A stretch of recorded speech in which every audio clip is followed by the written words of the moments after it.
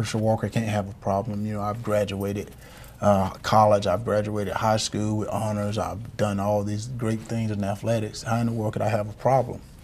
Until I uh, realized I almost injured someone, I almost hurt someone, and and uh, I went back to her and told her I had a problem. And what was interesting, she said, "I know you do," and uh, she said, "You know, sometimes I'm afraid of you." And I was like, "What?" And you know, being a Christian, the first thing I did is turn to the church. And I think, uh, and not that I'm not putting any church down. My mom is a minister. My three sisters are ministers. Two brother-in-laws that's ministers. But at that time, that church didn't do the right thing for me.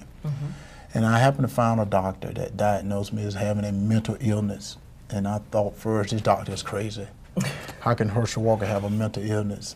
And uh, people don't know I end up checking myself into a hospital, in, in a behavior health hospital. And I can tell everyone that's what saved my life.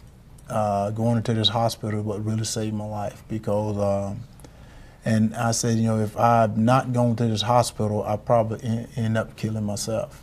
And everyone would have thought it was some type of uh, from a concussion. But no, it wasn't from a concussion. It was from a mental illness.